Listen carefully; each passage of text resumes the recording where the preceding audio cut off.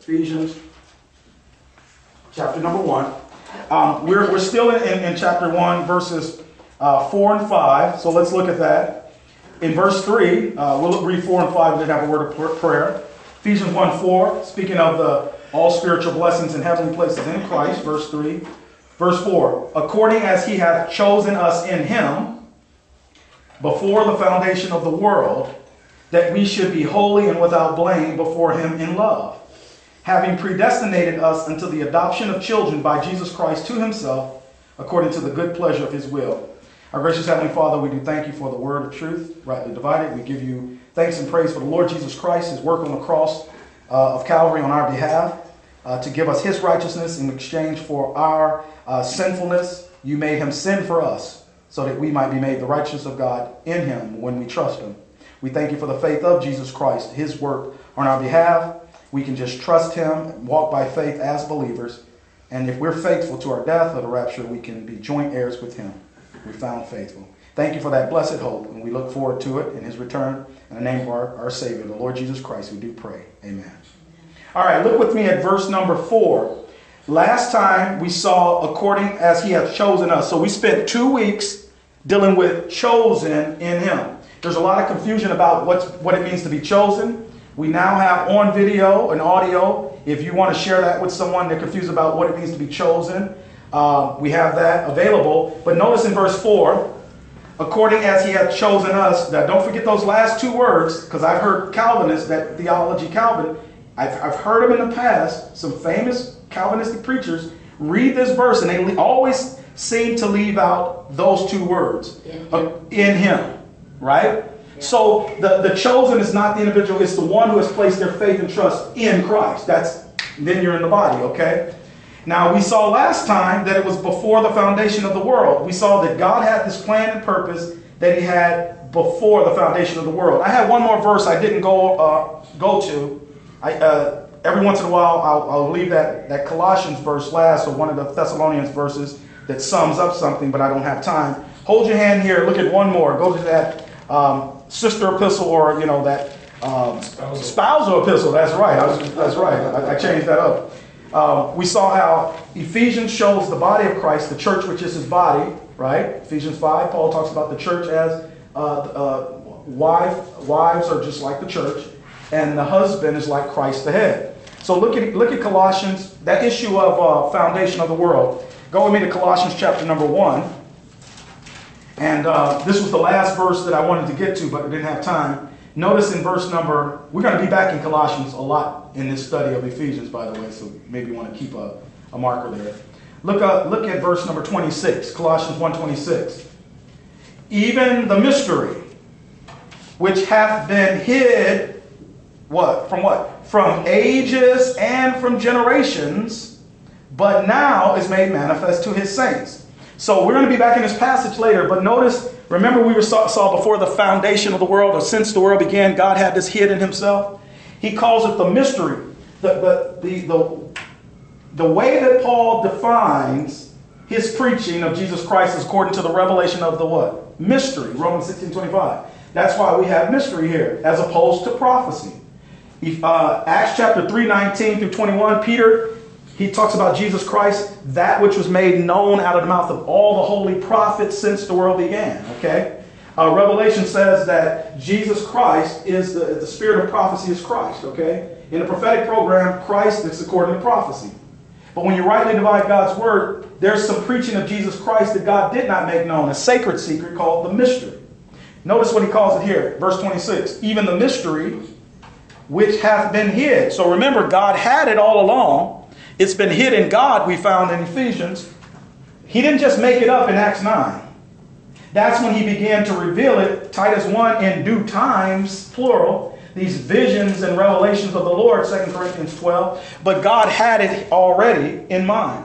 It has just been hid, verse 26, from ages and from generations. So all these cycles of, of humanity in, in time. God's dealing with humanity. God kept it hid, okay?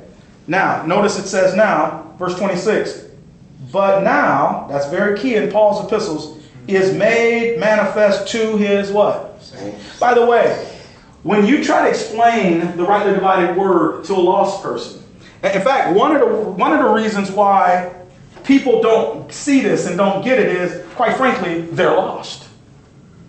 If our gospel be hid, it's hid to them that are lost, 2 Corinthians 4, in whom the God of this world hath blinded the minds of them which believe not.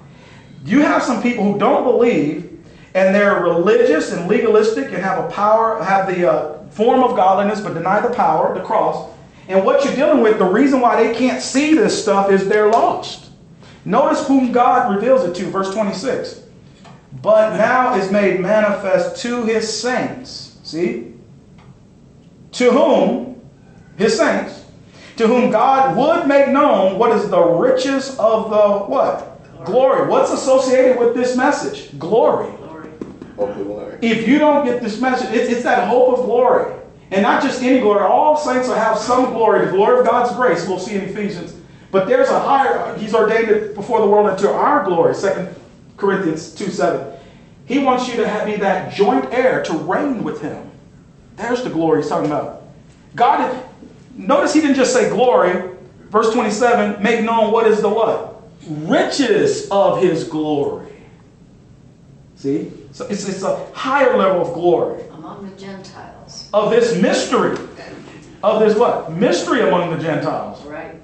Which is Christ in you. And, and, and what he means in you, you Gentiles. God, God always made it known, or at least from, from the time of, of, of, Abraham, that Israel, that the Hebrews would have a Messiah, and that through him and his and the Hebrew seed shall all the families of the earth be blessed.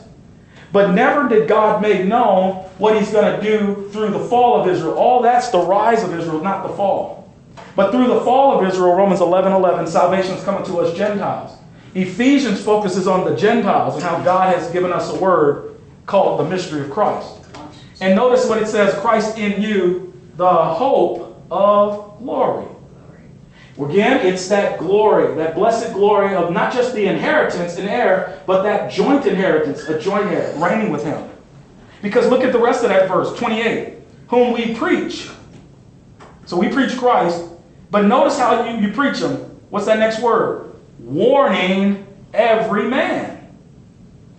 Now the men there have to do with those in the body. Now watch this. Made known to his saints. What are you warning people about? The judgment seat of Christ is coming. And it matters, sure, sure. Don't have your rewards for Exactly. And, and by the way, Ryan just said it. The next chapter of Colossians, he goes into how not to be spoiled of your reward, the reward of the inheritance. By the way, look at verse 28. Whom we preach, warning every man, but just don't warn him. We want to teach them right. We want to teach them what the truth is, and teaching every man in all wisdom. Now, watch this. You remember I said, I, I, I get this question about sonship, and that's, a, that's, that's probably second to judgment seat. Because the judgment seat being preached will make people walk or motivate folks to walk in their sonship, the curriculum. Because notice this that we may present every man perfect in Christ Jesus. What is he talking about? Maturity. Maturity, that's right. But where would where would Paul where would we present where would Paul and his ministers present that? When will that be made manifest your maturity? At the judgment seat of Christ. It's all there. Verse 29. Whereunto if I had to tell you what was Paul's motivating factor, it was the love of Christ, but he understood the terror of the Lord to persuade men, 2 Corinthians 5. Look what he says. Verse 29, whereunto I also labor. There's that labor of love. Striving according to his working, working, which worketh in me mightily. You know what Paul did? Paul did the work of faith himself, and he allowed God to work through him. There's the labor of love. And that word of God kept Paul going on as the satanic policy of evil was being formed in that day. Satan only got could know what he knew after Christ revealed it to Paul. But the point is, as Paul gets the revelation of the mystery, Satan he starts to formulate an attack to hinder the gospel of grace. Now he has 2,000 years where he can do it. The, the whole course of this world is set up to if you do the work of faith, labor love, if you do the work of faith, labor, love, the policy of evil is ready to, to withstand you. We just have to put on that whole armor of God. So go back with me, if you will, to uh, Ephesians 1. So that was just from last week, all right? Okay. First Thessalonians 4 6 is another good verse. The, the avenger of all such as all, we also have Yes. forewarned you. Forewarned, yeah. Testified. And when I, when I told that brother, I said, here's sonship, but here's the judgment seat of Christ. I could teach a, a message on it. When I said it, Paul at least 125 times. There's a guy who wrote a book about the judgment seat, and he came with that. I, I, I, he had just listed them all. I think it's more. I can find every time I read a passage, I can see it. Brother Ryan just mentioned 1 Thessalonians 4, where he says, The Lord is the avenger of all such, how you treat one another, as we have forewarned you and testified. You know what he's talking about? When would the Lord avenge?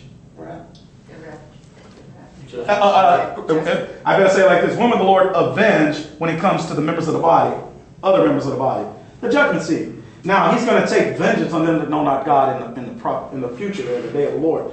But Paul in, in first uh, First Thessalonians four is talking about here. In fact, notice where it's at. First Thessalonians four. He's talking about the the avenger. yeah. The word there is like penalizer. the penalizer, right? The only other time it's used outside of that verse is in the Old Testament, the avenger of blood. And why would you defraud your, your brothers and, and sisters in Christ? Because you're not operating in That's the way- that's right. in Pauline uh, truth. I'm telling you, man, this thing is so important. And, and in these last days of grace, by the grace and mercy of Almighty God, it is our job, our privilege to put this out there. Sonship is great, but let me tell you, judgment seat of Christ will affect that. That's a greater thing. Because if I'm telling you about the judgment seat of Christ, you know what you're going to be serious about? The curriculum. The work of faith, labor of love, pain. You're going to walk as sons and daughters, sonship, because of the judgment seat of Christ. There's the motivating factor, see? All right, let's keep going. Um, and I only bring that up because I get a lot of questions recently about it, and I want to keep keep everybody knowing that that's fantastic. But there's something greater, the judgment seat, which is the goal of the sonship. You want to study to show thyself approved unto God, and that's where it's going to be. All right, let's keep going. Verse 4, Ephesians 1. So, according as he had chosen us in him before the foundation of the world, so we saw all of that, that what? Here's the purpose. Why did God do this? That we should be what? Holy and without blame before him in love. What does it mean to be holy? Well, holy, holiness is talked about a lot in Scripture. Holiness means to be set apart from the world unto God. Okay? So you can see, let me show you a verse. Go to 1 Thessalonians 1. Let me show you a beautiful verse that shows that. Go to 1 Thessalonians chapter 1 and verse number 9. So what God? Well, what it is is holiness means to turn away from the world and turn to God. And here, here's what Paul is saying. This is a this is a, one of the, the holy holy means set apart unto God, but to turn away from one thing to another, to be set apart unto God. Notice chapter one of 1 Thessalonians, verse 9. For we, excuse me, for they themselves, Paul writes, show of us what manner of entering in we had unto you. And how, now watch what the Thessalonians did when Paul brought the gospel of grace. It purified their hearts. Watch this. And how ye turn to God from what? Idols. Acts 17, 29. They turned to God from idols. Who were the Thessalonians serving? Well, they were serving idols, idol worshiping heathen Gentiles.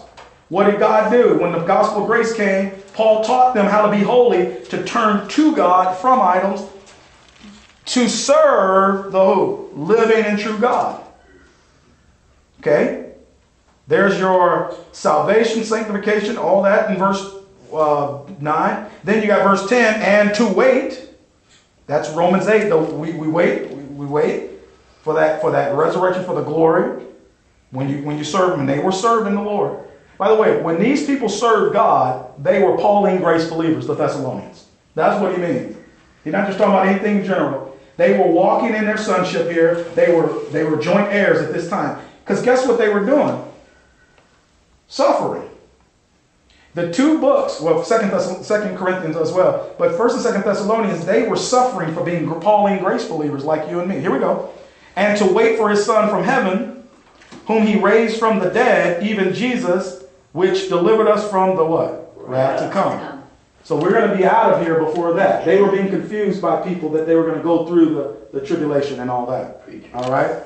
Right. Our, our resurrection is pre-tribulation, pre-wrath. All right. Go back to first uh, Ephesians 1. So that issue of holy. Oh, Romans 12. What did Paul say?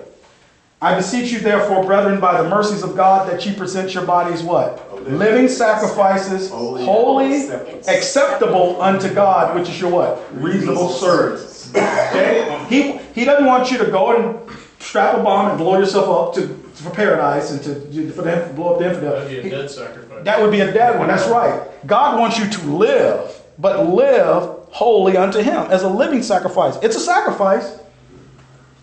Every one of us could- should look in our lives at where we say, is your time, your treasure, talents. That's it. Those three areas, you could say, Am I doing what I um, need to do to get the work of faith, build up the doctrine of the grace of God, and rightly divided word in me? And how am I laboring with the Father to do that for others? And only you and God can come up with that. Now, if you ask me or some other brothers where you think you could be used, if you kind of, but you, it's between you and God. You know yourself. Where can you do what you do? And what you guys are doing right now is being a part of this ministry. That's part of the, the, the work there. Okay? Ron, if he made a list of things for us to do, we would do it out of duty instead of out of love. Right. Uh, he doesn't need to put a list out because we're adults. I write out stuff for Jada Lynn. When she gets to become a teenager, I say, here's what mom and dad want you to do. Boom, boom, boom, boom, boom. But once she gets an adult, she says, I know the mind of my parents. I know what they want me to do. She just doesn't. She does. We should know the mind of our Father, the mind of Christ, By the word. by the Word of God, particularly through Paul. As you learn this doctrine, that's why we teach verse by verse. You start to read. Oh, be not trans. Uh, be not. He says, living sacrifice, and be not conformed to this world, but be ye transformed by the what? Renew. Renewing, constantly renewing of your mind. Yeah, and, and it's perpetually. That's that's the word, Ryan. Exactly. That comes from study. That's the work of faith, right there. That's what you're doing right now. So that, that's holiness. But tonight, I also want to look at, go back to Ephesians 1 4. This is without blame. Because sometimes I've had people ask me, said, what is this without blame, Brother Ron? Does it mean sinless? Well, you know it doesn't. But can I tell you something? There are people, crazy people, ignorant people who think that once they get saved, that they no longer sin. That's just nonsense. Because Romans 7, Paul says, I know that in me, that it is in this flesh, dwelleth no good thing. Go with me to Romans 7. Let me show you something about this body that you have right now. By the way, he calls it a vile body, Philippians 3. Who shall change our vile body? You know what vile, vile is, right? Disgusting. Yeah, it's okay. Here, go with me to Romans 7. Let me show you what the Apostle Paul says about 30 years into his salvation. If if Paul was saved around AD, 31, he wrote the book of Romans, you know, late 50s, maybe early 60. So he had been saved for about 30 years, okay? Let me show you what he says about his flesh. Romans what? Romans 7. Seven. Where you don't want it. Oh, yeah. It's something about these bodies. So you, let me show you what, what you can do. Sin doesn't have dominion as you continue to grow in the Word. But be, as long as you have these vile bodies, there is sin in these members, okay? Wa- Watch what he says here. Um, verse number 14. For we know that the law is spiritual. So he's talking about the law of Moses that he was he was under when he was uh, lost as Saul. It's spiritual. That's God's word. The words I speak unto you, they're spirit. But I am carnal, sold under sin. I get that. Paul wasn't saying he's carnal like the Corinthians, living in sin. We're going to see later he lived a life that wasn't debauchery, okay, even as a lost man Pharisee. But what he's talking about, he's talking about in his carnal flesh. Watch this, verse 15. For that which I do, I allow not. So he does some things he doesn't want to do. For what I would, the good things he wants to do, that do I not. Sometimes you want to do right, you just can't. But what I hate, now, what I hate, That I do. that I do. That do I, right? Yeah. Think about that. I hate arguing with my, my wife. It happens sometimes, okay? That's why I was saying dispensations. Even husbands and wives don't agree 100% of the time. And Chris and I have the same soul, as it were, compatibility, chemistry. We think alike, and we just male, female. But she's a female, I'm a male. Something, sometimes, and we got flesh. Sometimes you just don't want to do it. You just don't want to be right. You, I mean, you want to be right, you just don't want to do right. Notice here it says, That which I hate, verse 15, that do I. Now look at verse 16. If then I do that which I would not. Paul says, My will is not to do that. but I do it anyway. I consent to the law that it is good. The law is doing its part to, to, to condemn me. Now then, this is verse 17, what I want you to see. Now then, it is no more I that do it. Who does Paul see as his real self? His inner man. His spirit. His spirit, yeah. Yeah. It is no longer I that do it, but sin that dwelleth where? In, me. And just so you don't think he's talking about his inner man, watch what he's verse 18. For I know that in me, the definition, that is in my flesh, dwelleth no good thing. For to will is present with me, but how to perform that which is good I find, so forth. So he does recognize that in these vile bodies, there's still sin. Uh, you're fallible. So when, when we look at this issue of blameless, it's not sinlessness, okay? Uh, You ought to sin less as you continue on growing in God's grace throughout the years. You should sin less. But you're not going to be sinless until you get your out of this vile body, wretched body, wretched man. Yippee, Amen. Say it. We heard that. and we get our glorified body, no sin, okay? amen. But it doesn't mean you just continue in sin that grace may abound. No. You you walk in the, in the spirit. Okay. So there is sin there. So what is blameless? If blameless is not sinless, what is it? Well, blameless, let me show you what it was under the law. We're going to look at it under the law and under grace. Go with me, if you will, to uh, Philippians chapter 3. Let me and you get Philippians 3 and Luke 1. Philippians 3 and Luke 1. I'm going to show you something that most believers aren't, aren't doesn't understand. That when Saul of Tarsus calls himself the chief of sinners, he's not saying he sinned more than anyone else.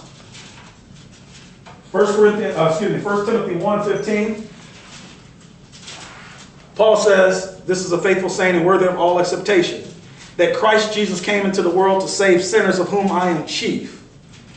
And most people who don't study the Bible or haven't studied it out think, well, Paul must have been the, the greatest sinner. Now, he did commit sins of uh, persecution of the saints, of the Jewish saints, the little flock. He had people murdered and so forth. That was bad. But when you looked at his life as that religious Pharisee under the law that he was, the young man Saul, for that 30 years, that man, you look at his life, and he was the holy, he was a Pharisee of the Pharisees, separated of the separated. Here. blameless by the law. Well, that's what we're about to see. That's, that's right. Look at uh, Philippians 3. Now, now watch this. Go with me. He's, he's given his pedigree back in the day. Verse number uh, 4. So if you wanna if you wanna be religious, he says, look at me. Verse 4. Though I might also have confidence in the flesh. By the way, what's the flesh? This is religious flesh. Flesh is flesh, whether it's carnal flesh or religious flesh, legalism, it's all flesh to God. Verse, verse 4. Though I might also have confidence in the flesh, if any other man thinketh that he hath whereof he might trust in the flesh, I more. Paul didn't like to boast, but he's trying to tell you, you think you're religious? No, no, no, you ain't seen religion. Look at me 30 years ago. That's what he's talking about. Watch this.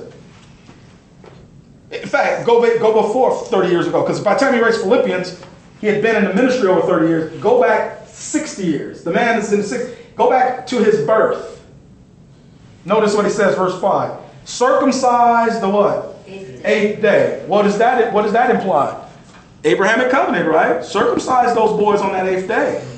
By the way, that's one of those things that you're talking to Jim about, the, the things that the Jews knew about uh, reality before anybody else did. 'cause Okay, that's the, that's the first day where blood clotting. Boom. Yeah. Th- th- th- Thank you. We were talking about those things. How did you? How did they know that? The Gentiles were called Chaldeans. They didn't know these things. In fact, not just circumcised, but on the eighth day. There's there's that reason with the blood clot. That's when fantastic. Prothrombin is at its greatest. That's the beginning, right?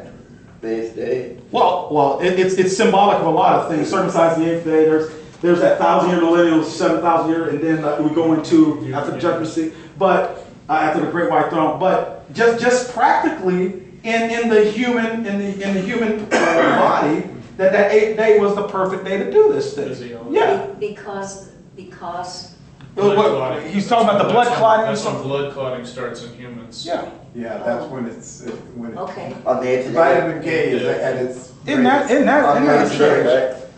And God knew that. Yeah. Well, I mean, God knew, but Continuity. not God. He taught, he taught the Hebrew people. Yeah, he taught them that. Well, look at the, look at the rest of that. So circumcised. And by the way, it, it's also let's look, look circumcision. What that what that represented was a cutting off of the flesh. Literally, what Abraham could produce in his flesh, where the seed come out.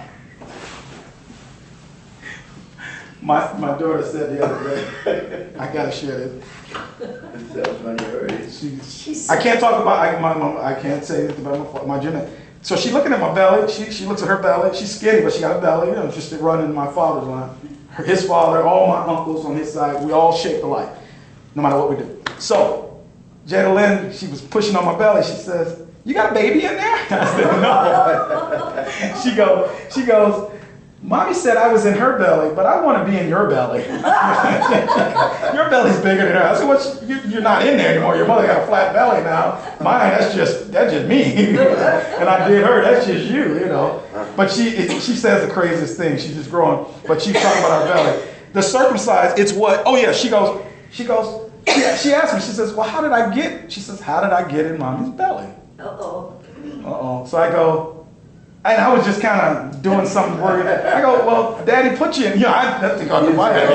I go, Daddy put you in there. Well, how'd you put me in there? I, go, Go ahead. I said, go ask me. I'm gonna sit it down. There's the seed. There's the egg. mm. Well, hey, what does Hebrews says about Abraham? Le- Le- Levi paid tithes in Abraham. He's talking about a man that was in Abraham. You know, Isaac and Jacob, Jacob's son Levi. DNA. The DNA. Yeah. How it's the same way that we were all in Adam, right? When he sinned. So I had to tell my daughter the truth. I said, Daddy put you in there. How did you do that? Go ask mom. Go ask mom. I just changed the subject. One good thing about four-year-olds, you, they, their attention span is real small, so you could change the subject. Here's a doll, you know. But anyway, I- it made me think about it because the circumcision of that foreskin of his flesh, Abraham and those men and then the children, is cutting off what those Hebrew boys, Hebrews men can produce on their own, right?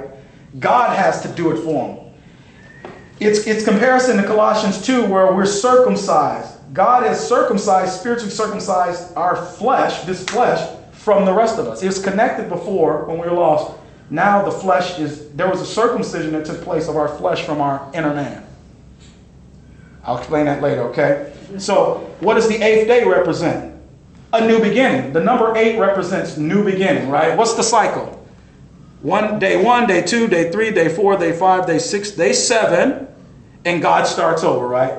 The eighth day, a new beginning. 6,000 years of human history, that 7,000 year millennial, the, the, the first installment. And then after the Great White Throne, the new beginning, okay? So there's this, 8 8 is a new beginning. Uh, when he had Abraham circumcised, there was a new beginning in the plan and purpose of God in the earth through Abraham the Hebrew. All right. Verse 5 Circumcised the eighth day of the stock of Israel. By the way, was, was uh, what was Abraham's son's name? Abraham had Isaac and who? Ishmael. He's the- he- he- Ishmael. Ishmael. Was Ishmael, pop quiz, was Ishmael circumcised? Yes. Yes. He was, sure he was. Of course he was. Abraham loved Ishmael, his firstborn. He wasn't the promise. He's still a Jew. No, he wasn't a Jew. He was he was a, he was a Hebrew. He was a Hebrew because he come from Abraham, but he was a mix. Let's say like this: he was half He Hebrew, was half side. Egyptian. Jew is the religion. Right, Jew is the religion. The Jews come later. We'll talk about that. Good question. We'll bring that up in the Q and A. Here, they're not Jews yet. They're Hebrews. Abram the Hebrew, Genesis 14, 19. Well, he was Syrian actually, right? Well, yeah, but that's he, he's from Ur the Chaldees, Syrian, but he was called Abram. The first time that word Hebrew is used, Genesis 14, he's called Abram the Hebrew. That's where the Hebrew tribes began, right there. And We say in Iraq. That was from modern his day Iraq. tribe. tribe. He- He He's, was- he's the first Hebrew, essentially. Yeah, he was the first one. That's how his, when he separated from Ur the Chaldees in his father's house, the Hebrews is what he was called, his tribe, his people were called the Hebrews. He was first, he's essentially the first Hebrew. Who was the first Jew? Is Well, Jacob? that that comes later, yeah. Jacob? Well, no, it's it's really when when the law of Moses, Yes. the the religion is the Jew, and then they were known as Jewry or Jew, the Jews. Uh, I, I'll have, let me get into it in the Q and A, okay? So I don't, but just remind me the Jews, because because it's, it's you got to kind of work through this thing. Israeli and Israelites, the nationality. That's right. So when he says of the stock of Israel, remember Abraham had Ishmael. He was circumcised. You just can't go by circumcision. And Abraham circumcised all his men, and, and, and, and I have no doubt that uh, Ishmael did too, because Ishmael was blessed by God. Don't everybody forget that, but God made him princes. He told Hagar, I'm going to bless him too, for Abraham's sake. So don't forget that. But Isaac is the promised seed. Now, Isaac has two sons. Who are they? Anybody remember? Jacob. Jacob and Esau. Esau. Brothers, twin brothers. Wasn't Esau circumcised? You bet. Yeah. You bet he was. He, when he was eight days old, he had his two young boys there. Isaac did, uh, Isaac did, and said, Jacob, Twins. yeah, twins, and Esau. And I'm sure Esau, well, I'm not sure, but Esau could have very well done that with his sons. The point is, you got to remember, you have to be of the right stock. So the stock, the promised stock, is not Jacob, excuse me, not, not Ishmael, but Israel, and Jacob who became Israel. Now, of that, he narrows it down to the tribe of Benjamin. Remember who Benjamin was? Benjamin was that youngest child of Jacob and Rachel. They had two boys, Joseph and Benjamin. Remember that? The whole thing? And Benjamin, he says, she called him Benoni, Genesis 35, and she Son of my, son Son of my grief or my pain. Right? That's what she called him because she's dying. She died. And the daddy called him Benjamin, son of my right hand. There you go. Or my strength. So there's some. The, the first, I mean, the Benjamin is that is that favorite tribe there. At least it's how I say like this.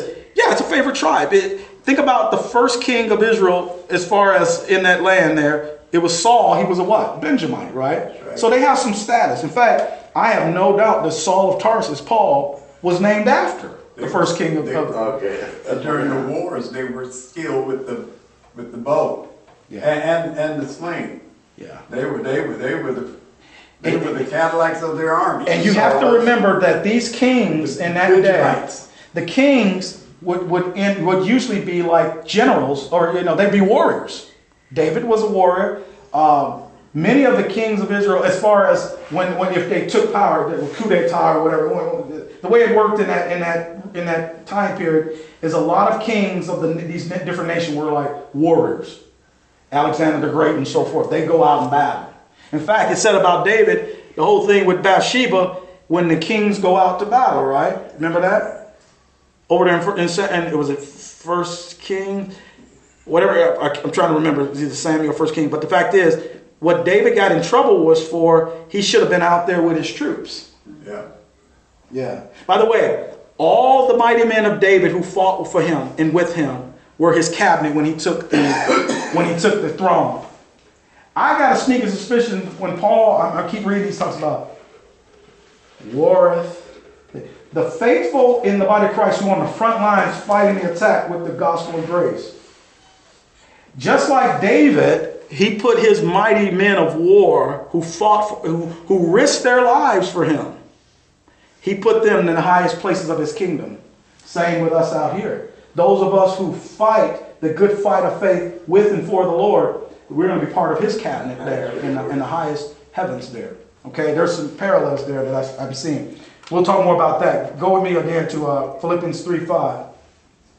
So he was of the stock of, of Israel, a tribe of Benjamin, and Hebrew of the Hebrews. There, there's that word Hebrew. So he was pure. He, wa- he could go in his genealogy, which you know he did, go all the way back to Abraham on both sides of the family, right on through. That wasn't even true for even the Lord himself. You look at the Lord's genealogy. There's there's there's all type there's there's mixes in there. Was it Rahab? No, Ruth. Ruth, remember Ruth, the Mo- the Moabitess? Ruth married Boaz, who and they had a son named was it Jesse? Yes, yeah, it was Jesse, and then Jesse had David, and then so even in the Lord Jesus Christ line, he had he had Gentiles in there. Okay, and and remind me about Rahab. Was Rahab? in- Rahab was a Gentile. Yeah, she's Rahab. Was she in that thing? Yeah. I think so, but at least we know Ruth. I gotta go check that out. My point is, you can look at Saul. He went back to Abraham, both parents, Uh-huh. pure Hebrew of the Hebrews. Keep going. As touching the law, oh man, He was a great lawyer. there it was, Pharisee. You know Pharisees mean? The separated. Yeah. They were the cream of the crop when it comes to the law. They believed in the That's why. Jesus was so leaned so heavy on Nicodemus. Hey, well, exactly. He said, "You call yourself you a teacher and you don't know this." He goes like this: You're a ruler in Israel and you don't You know don't know this. John three. My point is, Saul of Tarsus was a Pharisee. By the way, in Acts, he says a son of a Pharisee. His family was Pharisee, his dad. Verse number six. You want to see how much I con- concern the zeal? Verse six. Concerning zeal, you want to see what my fire and my zest for, for religion? Persecuting the church. Now, what church is that? That's that's right. That's that little flock. Messianic. That messianic church that existed in the book of Acts before Paul was saved. You see that in Acts 8 and 9. We, we've been over it. 7, 8, and 9. All right. Now, here's what I want you to see. Touching the righteousness which is where? In the law. In the law. In that performance based acceptance system called the law of Moses, before the dispensation of grace, how does he describe himself? As what? Blameless. Blameless. The works, but not the faith, right? That's right. The what? The works, but not the faith. Yeah. And obviously, we get to the point where exactly he did the works. In other words, let me show you. That's why I want you to see this. And Ryan just brought it up. Let's look at our next next passage in Luke 1. Here it is right here. Go to Luke chapter 1. Matthew, Mark, Luke chapter 1. Ryan just brought it up. When you looked at Saul's life, basically, when I say he's blameless, he did all the ordinances he did all the religious ordinances that Moses said to do. But his these people approach me with their with their feet, but their heart are far from me, Isaiah says. They, they didn't have the heart of faith. In fact, the reason the Lord Jesus Christ had to come after 1500 years under that law is to show that they needed. The law was a schoolmaster to bring them to Christ. Right, He, he came to show them that they could not keep that law right. the way God says to do it. Their heart was far from them, okay? Saul was one of them.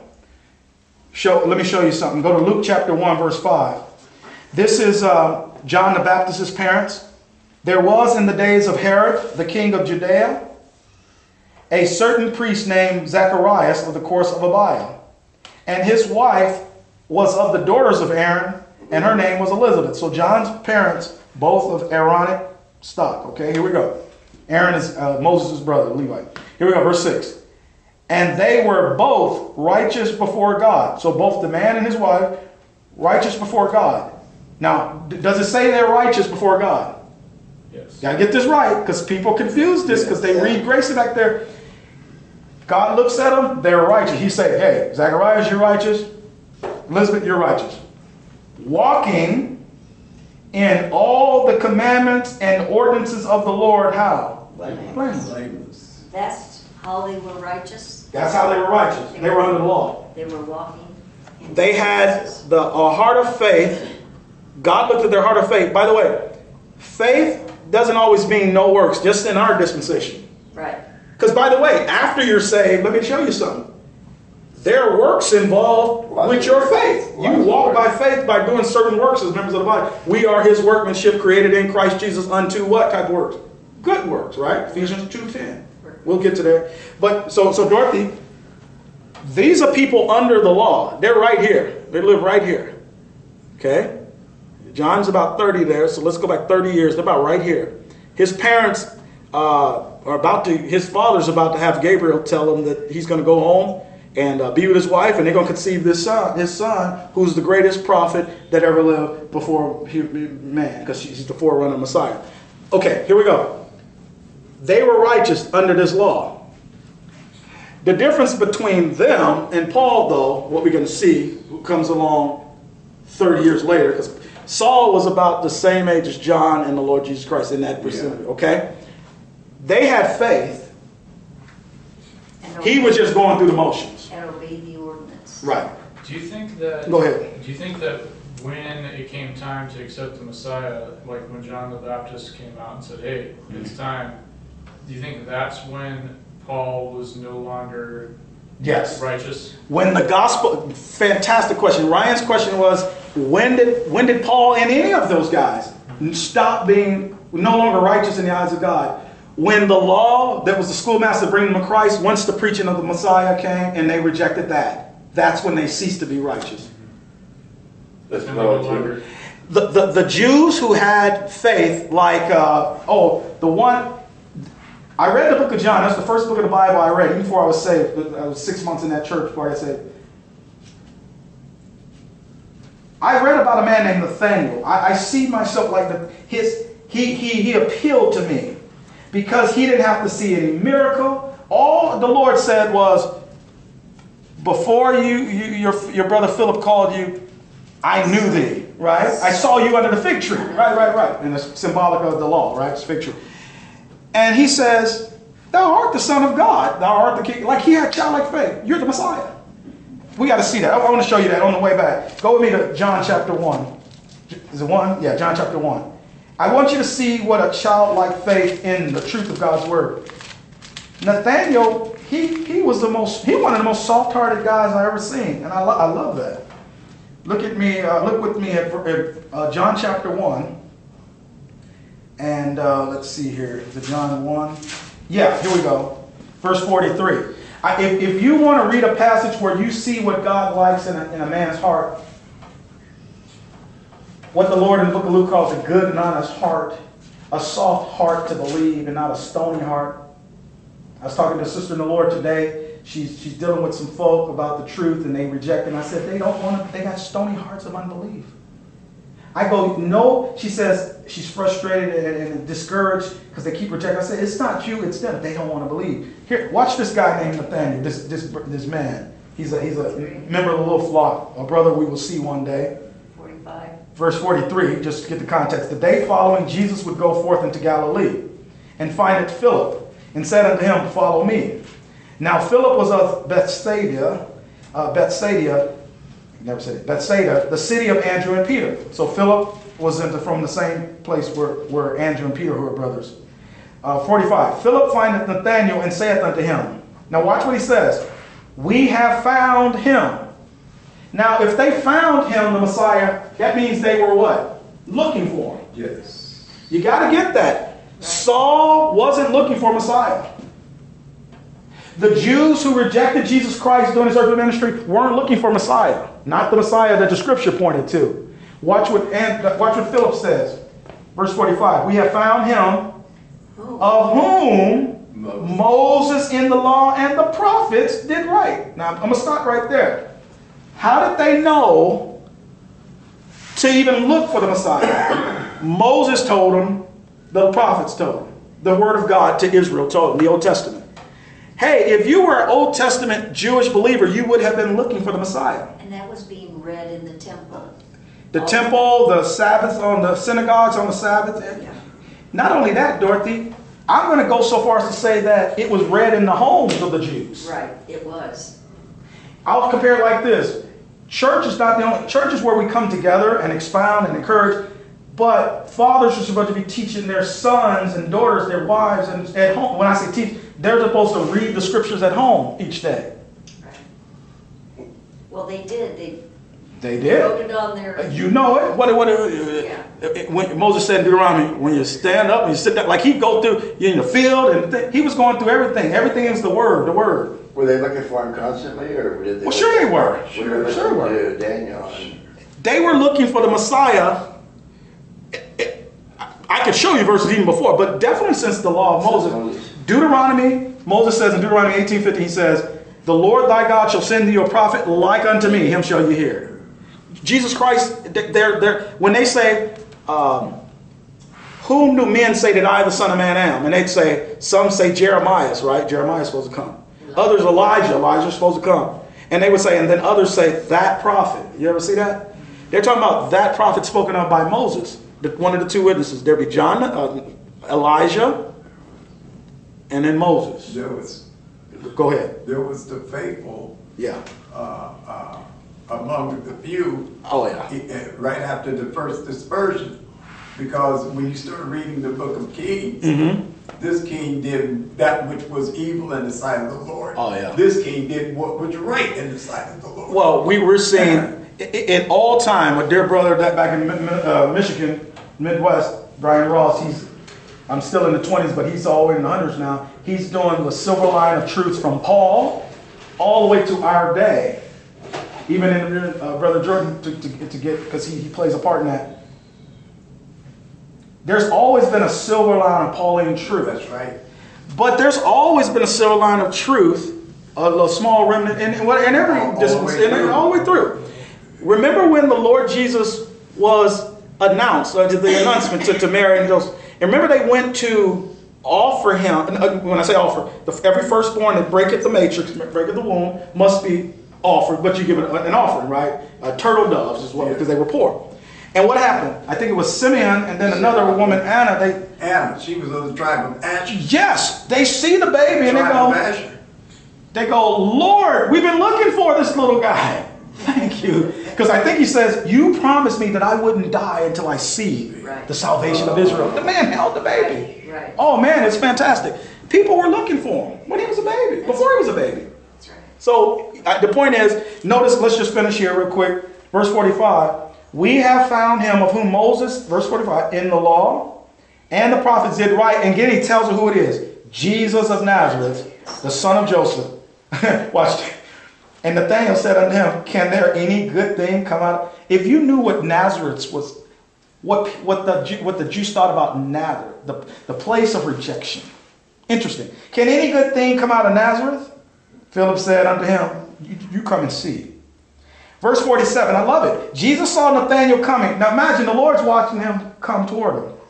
He sees him coming and said unto him, Behold. I, every time I read it, I got to take a break. No, To have the Lord Jesus look at you and attest, can I tell y'all what it's going to be like? The only equivalent I can say is that The rapture. well, the the rapture slash the judgment seat of Christ, they go together. Like when all this faithfulness now is going to pay off then when he looks right at you and say, You've done well. Oh, wow. Man, but I can tell you something too. A glimpse of it is how we grace believers who appreciate this deal with one another. When we encourage one another and you say, people think I'm crazy, I'm starting to doubt myself because all this opposition, I go, no, no, no, no. You believe the truth, rightly divided. You believe Pauline truth. You're not crazy, they are.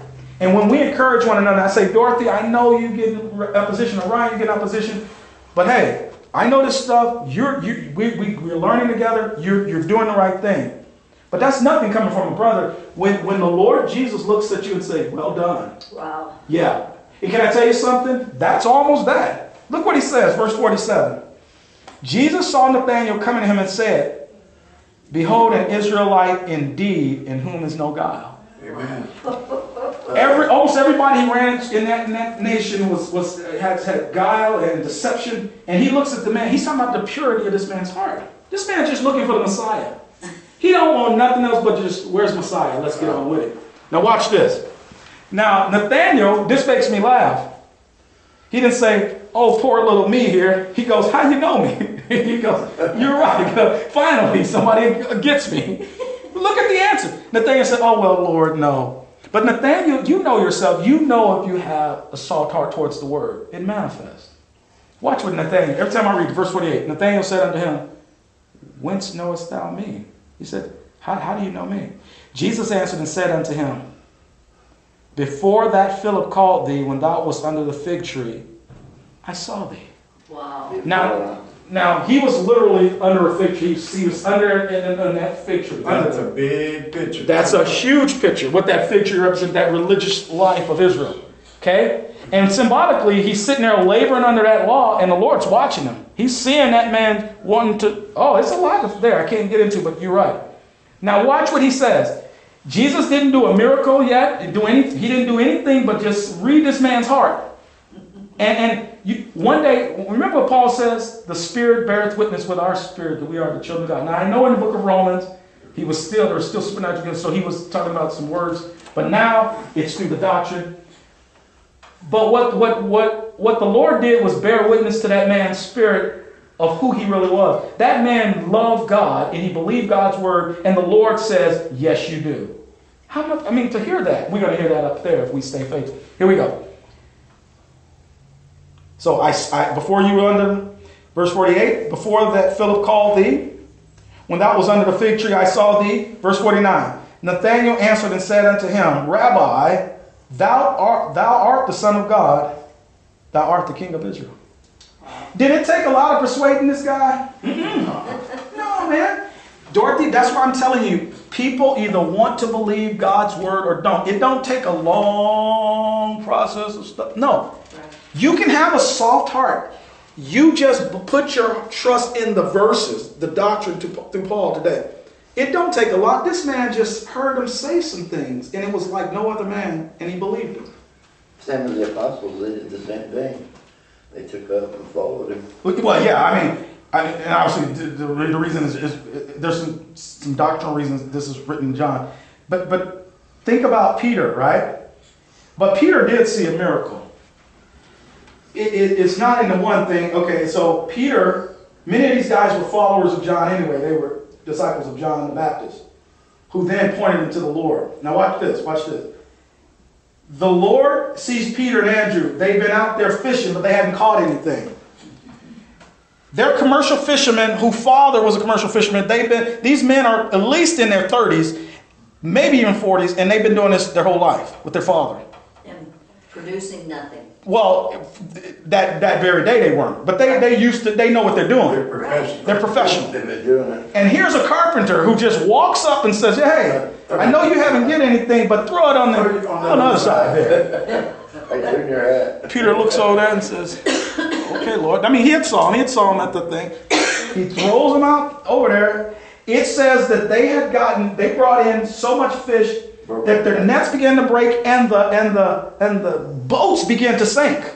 Wasn't Jesus trying to say to them, in your own efforts, you can't get it, but I can do it? What, what- it's all in there, but I, you got to get this though. Okay. He's a fisherman professional. He and his brother and his father, all his. He's a carpenter. the nets begin to break, and as they bring it in, it's it's so much fish that it began to weigh down the thing. You, imagine that. I mean, this is like never happened before. his They've never seen that many Pressed down, shaking, running over. Here's what Peter said. You remember what Peter said? He says, "Go, Lord. I, I'm, I'm. I don't even. You don't have anything to do with me. I'm just a. I Yeah. forgot what he said. You can read it, but he was just like, I am a sin, sinful man. He was so overwhelmed by that miracle of that fish. That was his. ju- He got overwhelmed of the blessing. He just said, "Stay away, Lord. I'm just a sinful." Something about Peter. When the Lord wanted to wash his feet, Peter was the first to say, "No, no, no, don't wash my feet, Lord." Peter was very humble. He was aggressive. He was impulsive. He was courageous, but he was very humble. So don't look. You know, people, sometimes Peter gets a raw deal when he uh, denies the Lord. But why in the world would the Lord pick that man? Because he saw something in Peter that he didn't see in anybody else. He saw a man with a humble heart, yet with a strong. Peter, he was humble. Lord, don't do that. I'm sinful. Don't wash me. Even though they're the little flock, when you consider each of those 11 men and later Matthias, Mhm. if you really understand their personality, Personality is huge. make up what under Paul the body of Christ is. Exactly. Everybody can't be a foot. Exactly. Everybody can't Exactly. be a nose. Exactly. Everybody can't be an ear. The thing I see about Peter was his humility. Lord, go away. I, I'm, I'm a sinful man. So he saw himself as a sinner. He says, Don't wash me, Lord. You shouldn't be doing that. He says, I, I should, We should wash your feet. He said, No, I got to teach you this in the book of John. But then he saw Peter saying, The first one to stand up to defend the Lord, at least, you know, why the pressure went on is, is Peter, right? He took out a sword and tried to cut a guy's head off with hundreds of men standing there. So don't short, sell Peter short. Yeah, he denied him, but he's human. He, he feared. But he proved himself just throughout, and, and that's the reason God made him. Leonard said one more thing before uh, I forget. Simon Zelotes, Simon the Zealot, and then Matthew the tax collector, Yeah. Levi. Yeah. You can't get two Opposites. opposite dudes. And it'd be cool if the Lord sent them out two by two. Here's a man who was a a zealot Hebrew Jew who hated Rome, fought. He was the guy who was that patriot. He was that guy who was all into the, the politics of the day. Let's go. He, would, he was that close to being a, a, a seditionist, you know, just we're gonna we're gonna get our get our country back from these Roman Gentile heathens. And here's you have Matthew Levi over here. He's sitting at custom, taking taxes from his own Jewish people for Rome. You can't get any different than that. And guess what? The Lord took them both. You're right, Leonard. He took them from all spectrums, Oh, and man. Pastor, before you leave that Yes, passage, please. I had a little note here that Nathaniel means a gift of God, and it represents a type of Israel. Thank- Oh yeah, Nathaniel represents the little flock of it. Yeah, it's so much that we can we'd have to really just see the passage. Verse Go ahead. fifty-one, like you said, he represents the little flock, he says right there in verse fifty-one, you're gonna make it to the kingdom, you know? Well, look at 50 and 51 as we, as we, uh, He saw him start and he knew he would endure, oh yeah. Now remember John, futuristic. futuristic. So, so a lot of things, even, even the scholars, they, they could see, okay, Matthew, Mark, and Luke, synoptic gospels, and then Mark is different. The reason Mark, uh, excuse me, excuse me, John is different. Matthew, Mark are over here, and then here's John. The reason, what they're seeing when they study this out is John ha- is profoundly different than the rest in that, and, and they don't know this, but I'm telling you, all of John's writings are futuristic. Uh, John, the Gospel, First John, Second John, Third John, the epistles, and then Revelation, they're future. So, like what, what Ryan, let's look at what Ryan's saying. He doesn't talk like this in Matthew, Mark, and Luke. There's none of this futuristic thing. It's you better endure to the end type of stuff. But in John, he's, he's God who calleth those things which be not as though they were. It's like he's saying futuristic thing. Watch verse 50. Jesus answered and said unto him, Nathanael, because I said unto thee, I saw thee under the fig tree, believest thou? See, you needed faith. Thou shalt see greater things than these. And he said unto him, Verily, verily, I say unto you, Hereafter ye shall see heaven open, and the angels of God ascending and descending upon the Son of Man. Now, Ryan, say it again. Where would that? What was he talking about? Picture, Talking about the kingdom. Kingdom. Kingdom. Oh yeah, The New Jerusalem, yeah. New Jerusalem, and what's going to happen, Dorothy? And the, by that- by that time, here's a verse. The body of Christ is already doing it, and, and there's going to be this go bet- go back and forth between the heavens and the earth. It goes back to Jacob's ladder. Goes back to Jacob's ladder, Genesis 30. Ascending and descending. It's the same exact wording about the angels. What's You're right. Peni- Peniel? Uh, what's it called? P- Peniel? Peniel? What's Yeah. Peniel? What do we talk about that? Peniel? Pineal. Pine, Peniel, yeah. In the Bible, it's P E N E U L, Peniel. That's Genesis 32, I think. But you're right. Jacob's ladder, he sees, he has this dream, and he sees the angels of God ascending and descending. Prophecy, it starts here on the earth, and then go back and forth. there's so much deep stuff in that passage. So much, man. You could, you, we, we could, we could only, yeah, we'd have to do a Q and A and just to kind of exhaust it and record it, yeah. Okay, so I just want you guys to see, we got about two minutes, so go back to, um, go back to Ephesians. This is fun tonight, I, I- don't mind doing it, and, and the folks who listen, they, they love this, let me tell you. They wish they could just be here in our Q and A's and stuff too. Go back to uh, Ephesians and look with me at, uh, I tell you what, I tell them, I say, uh, worst come to worst, just, just move here. Move. Hey, this world getting worse and worse, and if your family and friends back there don't like you, whatever, you got some saints here who love you and be a part. You with us anyway in I spirit. know I missed it when I went up to watch. I know you missed it. I love. I thank God for those brethren meeting and watching tape, but there's nothing like live preaching. It's Yeah. just not. I've wa- I've watched. I've been in Brother Jordan's studies, and I've watched his studies. I did both. Not only Grace School of Bible, but some of his current, some of his past studies before I was part of his ministry 18 years ago. I'm telling you, there's a difference of sitting there watching it live You can't interact. you know how much is I, I was telling Ryan just last week, a dear sister of the Lord, I, I just finally told her after talking to Matthew here last Sunday, we don't have the manpower right now, the time, the money, the, the, the timing is not right for us to do live internet broadcasting, right? Now, these are studies that Ryan, and now there's, he's, he's going to catch up too because of his computer issues, but he's putting on each week. So then we basically just waiting a week and they're watching the video on YouTube. But it's not the same. Something in it was like, you know, and I had another sister in the Lord today say, hey, can we do at least Skype or something? It, it, it's this urge to be right there live Yes. with you guys. It's hard not I- to. Exactly. Now the only other th- so so maybe we can do live stream or YouTube down the road or whatever, but there's nothing like that live fellowship. See, God made it. What does a body do? They they interact. So now, thank God for the blessing technology. So if you're stranded, a grace believer, you can still get the doc. But there's nothing like what we got. Anyway, so we got we got to end we got to end this study for today. Uh, even though we went looked at some other stuff, it was still good. So the holy without blame. All right, so let's stop here. I wanted you to see that you could be blameless or without blame under the law. We saw two examples. There was Paul, Saul, excuse me, Saul, And Ryan was right. Once, once the, the Messiah, uh, the preaching of Messiah came, the law was a schoolmaster to bring them to Christ. The law and the prophets were until John. Since that time, the kingdom of heaven is preached. So once the gospel of the kingdom was preached, every man, what? Presseth into it, Luke, right? That's what the Lord said. If you were righteous under that law, and yet you lived in this day and you didn't press into the Messianic kingdom church, trust Jesus Christ as Messiah, the what, baptism of John, and so forth, you were no longer righteous. You no longer had faith, and therefore you no longer had the preserving faith. Exactly. That would uh, lead you to continue the faith. Exactly. You didn't go along with the progressive revelation of God's kingdom program. Okay?